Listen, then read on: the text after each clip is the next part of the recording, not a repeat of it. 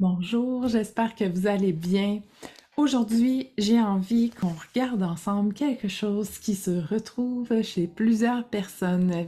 Euh, je viens de terminer un beau rassemblement avec euh, les muses qui font partie du programme Une vie habitée. Et il y a une super belle question qui a été posée pendant euh, notre rencontre qui est en lien avec l'hiver intérieur, avec le manque d'envie de créer quand on arrive à notre table de création et, pourtant de sentir que quand même ça nous habite encore. Donc, euh, il y a plusieurs muses qui ont interagi en disant moi aussi, euh, je me rends compte que je suis dans la pensée de tout ou rien. Euh, et ce que j'ai dit et ce que j'ai envie de partager avec vous, c'est quand euh, ben de, un, c'est tout à fait normal. C'est pas la première fois que j'en parle. Euh, c'est notre nature créative est une nature cyclique. C'est juste normal. On fait partie de la nature et la nature est pas constamment en train de produire, de pousser, de fleurir. Elle passe par la phase de l'hiver, être en jachère c'est déstabilisant parce que on aime ça être inspiré, on aime ça avoir le goût, on, devient nostalgique de ces moments-là. Et là où il faut faire attention, c'est pas de, de tourner ça contre soi, envers soi et de se dire qu'on a un problème. Si je devrais être inspiré, je, je me suis inscrit à un atelier euh, et, et, là, ben, je, j'ai perdu le momentum parce que j'ai même plus le goût de, découper des images. C'est quoi mon problème? Stop. C'est normal. Et en même temps, étant donné que ça fait partie de la vie, c'est important de rester connecté à l'élan créateur à l'intérieur de soi avant même de faire quelque chose. Donc, euh, première chose, moi, je le dis souvent,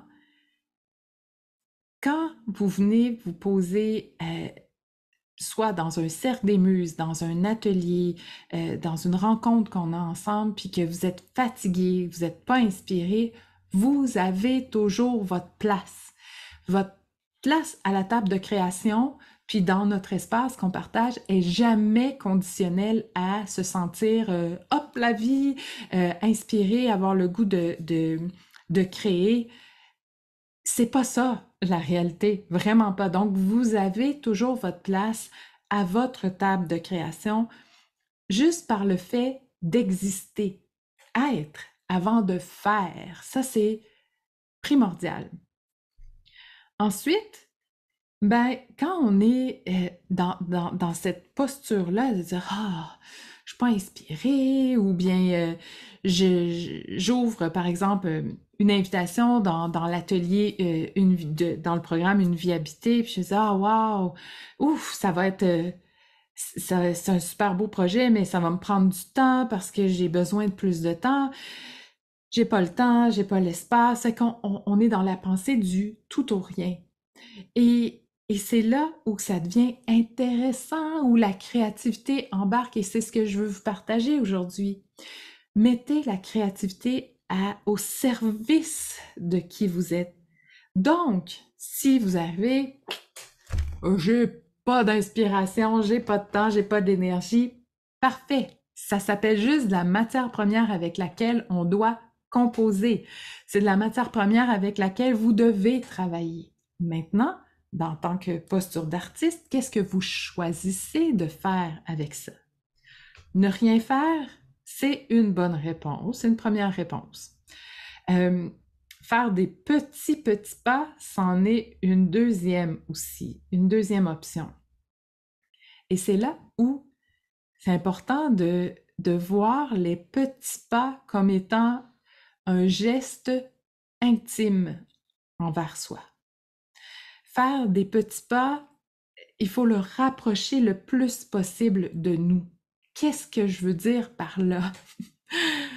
c'est ce que je me rends compte, c'est que euh, j'en parle souvent de faire des petits pas, des petites actions, mais euh, parfois, je me rends compte qu'il y en a qui ont la perception que euh, faudrait sortir le matériel puis faire un petit pas. Mais déjà, juste sortir le matériel, surtout quand on n'a pas de, de pièces dédiées à la création, c'est un grand pas. C'est pas un petit pas, ça. Des fois, c'est trop grand pour nous. D'autres fois, c'est juste. Euh, il n'y a pas de souci.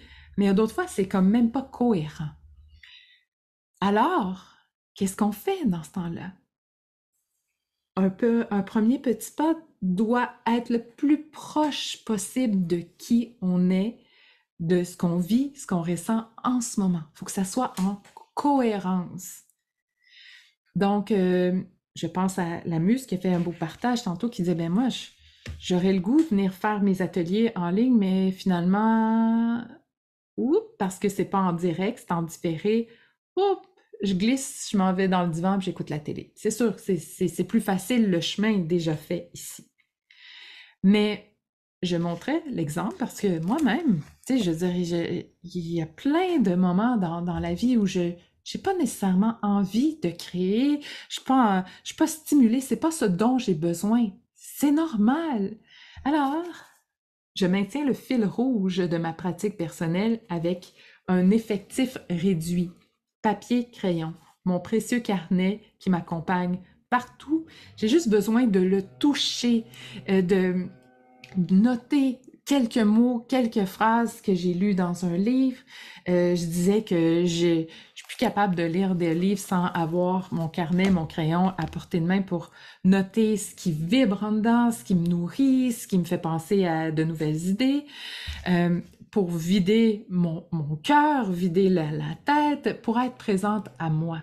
Donc, le journal, euh, de, de, le journal intime dans lequel je vais venir dessiner, gribouiller. Et donc ça, c'est le strict minimum, mais qui me permet de maintenir le fil rouge de la connexion à moi-même, de la connexion à ma pratique d'alchimie par la création, de transformation intérieure par la création, avec le strict minimum. Si par hasard, il y a une image qui est à côté de moi, je ne sais pas, un, truc euh, publicitaire euh, qui, était là, puis whoop, il y a une image qui happe mon attention, ben, je peux la prendre puis venir la coller dans mon simple carnet. Donc, au lieu de voir le contenu d'un atelier en ligne, par exemple, ou d'un grand projet de création comme étant une fin en soi, c'est de voir comment on peut le ramener le plus près possible de nous.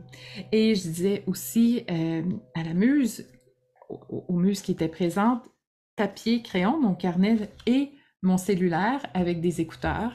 Donc, je me nourris euh, en faisant la vaisselle, en prenant des marches, en sortant courir et je jumelle deux activités comme ça ou plier du linge.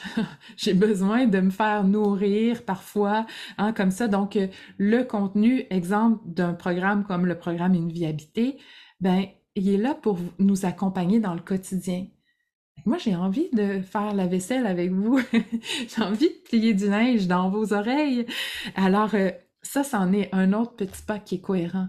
D'aller dans le divan, allumer la télé et d'écouter le contenu d'un, podcast ou d'un, atelier, c'est se laisser parler, euh, se laisser parler d'amour, se nourrir, c'est de la nourriture pour l'âme.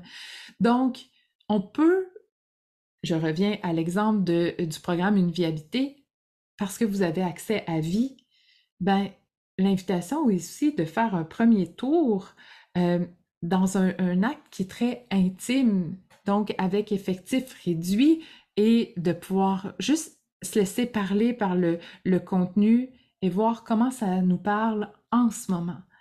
Et plus tard, quand l'inspiration, l'énergie aura changé, aura bougé, que ce sera à nouveau le printemps intérieur, ben, le contenu là. On sort le matériel de création, c'est cohérent, on est disponible intérieurement. Mais pendant l'hiver intérieur, c'est le temps de sortir euh, hein, la, couverture, de, s'envelopper dedans, puis de pouvoir rester connecté à soi. C'est vraiment ça qui est important. Donc, la créativité, c'est pas vrai que c'est juste par la couleur. Pas du tout. Euh, on, peut avoir différents moyens d'expression, mais c'est pas vrai que ça prend nécessairement tout ce matériel-là pour que la création puisse nous habiter, nous parler, nous faire grandir, prendre soin de notre feu intérieurement. C'est faux. Donc, comment on peut ramener ça le plus proche de nous? Fait pour moi, je le redis, papier, crayon, écouteur, euh, puis euh, cellulaire, je, suis dans ma bulle. Quand je me lève à 5 heures du matin, j'ai juste hâte d'être avec moi-même, avec mon carnet, ma doudou, mon, mon café. Euh, puis, je vais aller sur Pinterest pour voir, y a-tu des images qui, comme si je faisais un collage, hein, y a-tu des images qui captent mon attention en ce moment? Si la réponse est oui, ben je vais, m'en servir comme point d'appui pour dessiner, euh, dessiner dans, mon, carnet et, euh, et me nourrir comme ça. Je disais aussi que maintenir le fil rouge avec papier crayon, il y a des jours où je fais juste écrire la date. On est euh, le 27 novembre et c'est tout ce que j'écris, puis ça me fait rire parce que c'est tout ce que j'avais à dire ce jour-là. Ça se peut, ça aussi, mais j'étais là et, j'ai ouvert l'espace. J'ai ouvert le portail pour que des mots puissent atterrir sur la page et il y a d'autres fois que il n'y a rien. Je ne force rien, mais je suis toujours présente. quand on n'a pas d'inspiration, pas cette énergie-là, on ne force rien, mais on reste présente. On reste en ouverture. Euh, faire le ménage de mon atelier, ça me fait profondément du bien quand j'ai pas d'inspiration. Et la première chose que je sais, c'est que parce que je suis en train de, faire le ménage dans mes papiers, dans mon matériel. Oh, hey, oui, ça me fait penser à telle chose. Euh, des fois, c'est des petits mouvements comme ça qui font toute la différence. Euh, puis d'autres fois, juste avoir fait le ménage, c'était c'était parfait, puis c'est ce que j'avais besoin. Fait que ça aussi, ça fait partie des petits pas. Mais de maintenir notre pratique vivante, euh, c'est important ne serait-ce que d'allumer une chandelle avec attention et intention, de je suis là. Je suis pas en train de, m'oublier, puis de, renier ma pratique ou de l'oublier, puis de dire Ah, j'ai encore abandonné. Non, je suis pas en train de créer, mais je suis là. Et, et si je fais ça à chaque jour, ben, il y a peut-être un jour où je vais me dire, hey, non seulement mais j'allume une chandelle, mais je, je prends mon cahier, euh, je, je, sens que c'est cohérent, ça revient. Donc là, on est en plein mois de novembre, la grisaille est là, c'est euh, peut-être que, que ça teinte votre état d'esprit, puis ça fait en sorte que vous sentez gelé un peu hein, intérieurement, dire, ah, je me sens pas en feu, je me sens pas en forme pour euh, créer.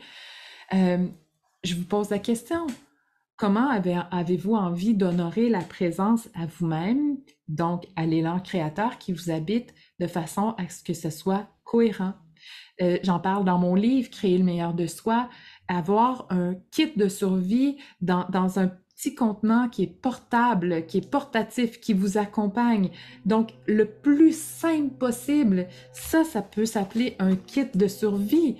Euh, et, parfois, on a besoin d'un petit peu plus. Donc, on rajoute un, un bâton de colle, une paire de ciseaux, puis un magazine, et voilà, on, est en business.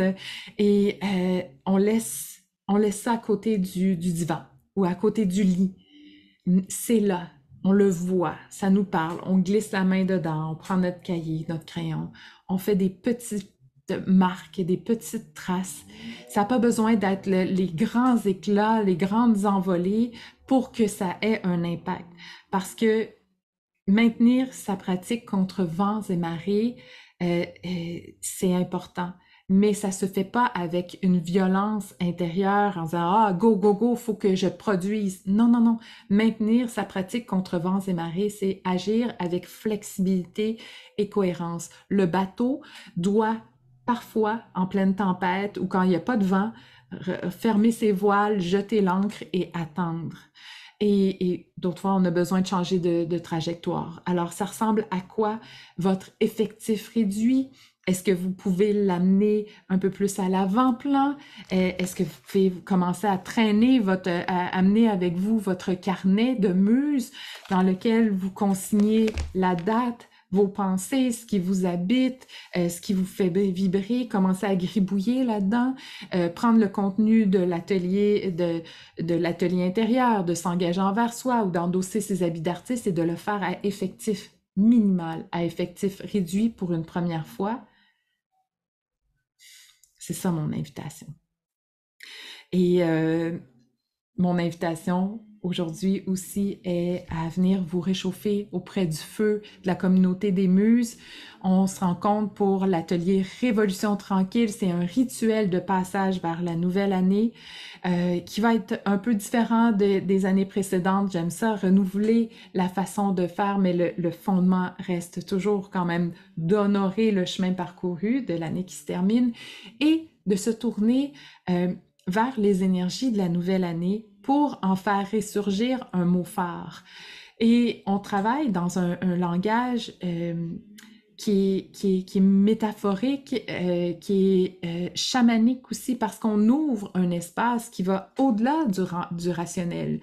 Donc, on connecte hein, avec notre intelligence silencieuse et on laisse ça émerger, puis ça nous supporte pendant l'année. Et c'est très puissant. C'est une pratique que je fais depuis plus plusieurs années, plus de dix ans, et, qui a évolué. Donc, c'est ce que je vous transmets et on se rassemble en communauté. Que vous soyez une nouvelle muse, euh, que vous soyez avec, à mes côtés depuis le début, tout le monde a sa place autour de notre feu. Et euh, dans la première, il y a deux rencontres, une en décembre, une en janvier. Vous irez voir sur le site pour avoir toutes les informations. Dans la première partie, il y a une visualisation guidée, il y a les, invitations de réflexion que je vous partage, un moment de réflexion, création en silence où je partage la musique, où on connecte en silence. C'est très, très puissant. Il y a des muses de partout dans le monde qui se rassemblent. Donc, si vous sentez seul, vous avez besoin d'être soulevé intérieurement, euh, ça fait profondément du bien. Et on se revoit en janvier pour le même processus, mais avec euh, les nouvelles énergies. Dans l'atelier, il y a déjà deux tutoriels pour créer votre propre carnet, mais vous pouvez choisir tout simplement d'en acheter un. Euh, vraiment, tout est possible. Et, euh, et, j'ai vraiment hâte parce que c'est un, un, atelier que j'aime profondément, qui fait du bien, puis qui, j'ai l'impression que le temps est, suspendu à ce moment-là. Puis de pouvoir partager ça avec vous, ça n'a pas de prix. Alors, euh, sur M c'est disponible. Et dernière chose, une nouveauté, si vous avez envie d'offrir des ateliers en cadeau ou de recevoir, sur M il y a un petit bandeau et vous cliquez dessus, offrir un atelier en cadeau et c'est nouveau, fait que vous pouvez offrir l'atelier euh, de votre choix à la personne de votre choix aussi ou demander au Père Noël de venir dessus pour euh, vous, en offrir un en cadeau. Alors, sur ce, je vous attends dans les commentaires pour que vous puissiez me dire, ça ressemblerait à quoi les plus petits pas, l'effectif réduit hein, et aller au minimum quand euh, l'inspiration, quand c'est l'hiver intérieur, pour maintenir votre pratique personnelle de connexion à vous-même. On n'a rien à prouver, on n'a rien à créer de flamboyant, mais de rester connecté à soi dans, dans le plus simple.